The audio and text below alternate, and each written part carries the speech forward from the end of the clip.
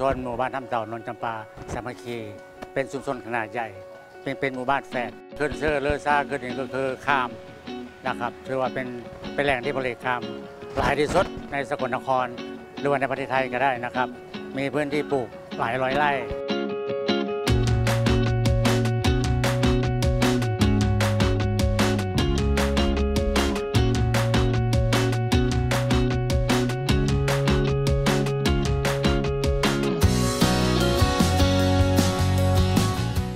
ที่นี่ถ้าเกียวนี่คือเฮาสีเกียวช่วงเศร้ามืดเลยนะคะสีข้ามก็สีสวย คือน้ำหมอกมันตกลงมาใส่ใบข้าม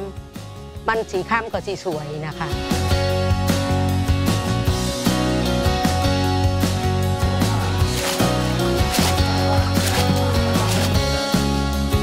ไม่ใช่ว่าเฮ็ดแล้วสิย่อมได้เลยค่ะ คือเราต้องรอจนกว่าน้ำจะเหลืองเฮาซึ่งสิย่อมได้บ่แม่นว่าเฮ็ดเดี๋ยวนี้ย่อมเดี๋ยวนี้เลยไม่ได้ค่ะ คือสีธรรมชาติเรา จะไม่ได้นะคะ จะรอถึงอย่างมากอย่างอย่างมากที่สุดหนึ่งอาทิตย์ แต่ถ้าเราผสมว่าโอ้มันผสมอะไรอะไรทุกอย่างมันก็พอหมดแล้ว คือสามวัน ผู้บางคนนี่คือมือนี่สี่สี่สี่ย่อม ต้องชิมดูก่อนค่ะ ต้องชิมดูก่อนนะคะ ที่พ่อที่แม่เพิ่นบอกเนี่ยบางคนเขาจะรักมากเลยหม้อของเขาเนี่ยเขาจะรักมากเลย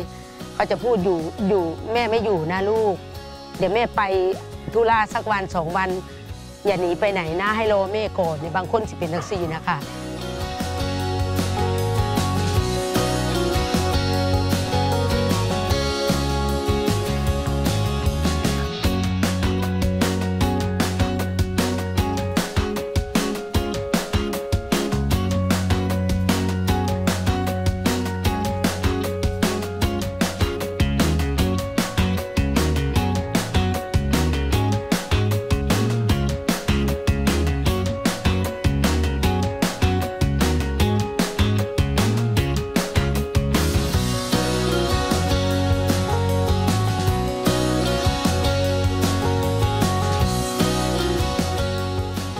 ผลิตภัณฑ์ที่เข้าได้หาดาวนี่ค่ะก็จะเป็นผ้ามัดหมี่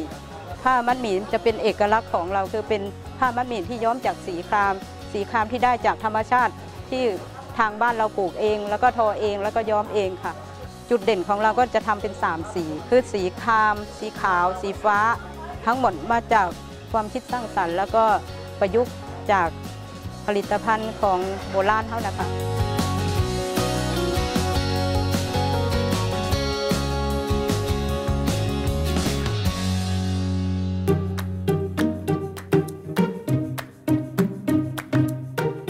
รื่องอาหารการกินเป็นอาหารพื้นบ้าน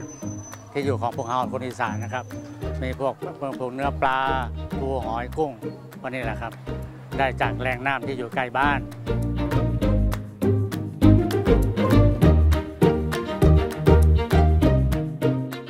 เป็นสะพานทำด้วยไม้ไผ่ไม้ยูคาประมาณ 100 เมตรนะครับ ยื่นลงไปในในในในแหล่งน้ำครับบริเวณนี้ถ้าเป็นหน้าแล้งจะเป็นทุ่งนาปัง ประมาณ 3-4พันไร่ ช่วงนี้น้ำเต็มที่เลยครับ